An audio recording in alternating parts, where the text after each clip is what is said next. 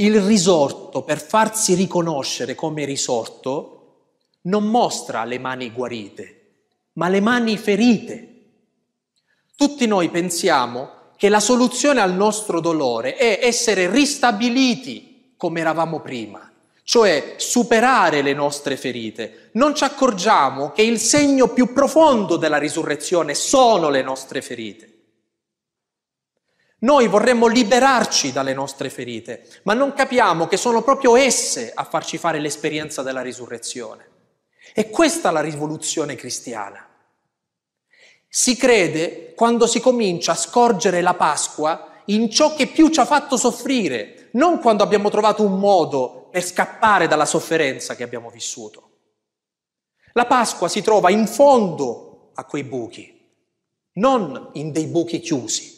Noi vorremmo un Dio che risolvesse la nostra vita, il nostro Dio invece ci porta a risignificare la nostra vita, cioè a riempirla di un nuovo significato, a partire da quel dolore che abbiamo vissuto.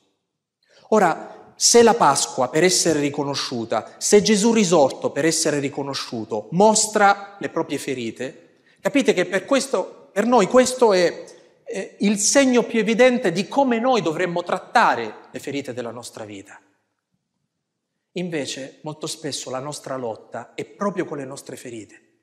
Per anni e anni noi proviamo a liberarci dalle nostre ferite.